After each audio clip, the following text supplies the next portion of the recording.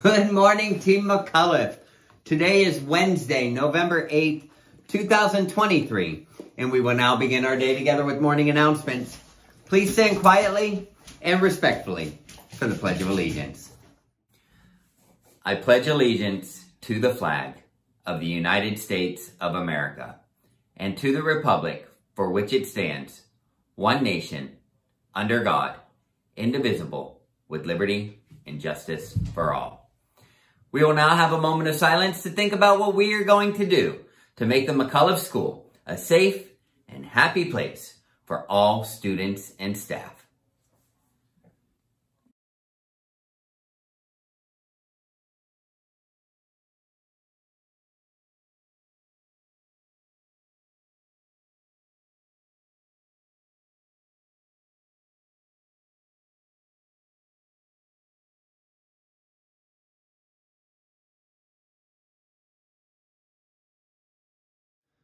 So we do have some birthdays to celebrate today in room five. It is Isabella's birthday. Happy birthday, Isabella. Hope that you have a great day today. We also have a staff birthday to celebrate today. Down in room 007, most of you call her Miss Levin. Some of you have started calling her Miss Gilbo. Happy birthday, Miss Levin, Miss Gilbo, whatever you're being called today. Hope that you have a great day too. Looking at our national days calendar, today is National STEM or STEAM Day. And STEM stands for science, technology, engineering, and mathematics. You throw a little bit of art in there and you have STEAM. Students, yesterday, your teachers went through some um, professional development that was all around STEM and STEAM that we'll be incorporating into your lessons so that you get some more time with STEM and STEAM so that we can celebrate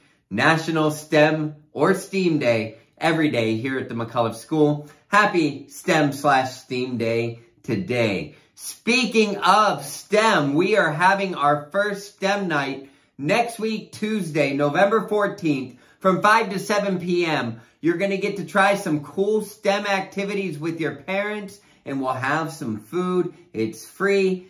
Bring your parents out. It'll be in the cafeteria next Tuesday from 5 to 7 p.m.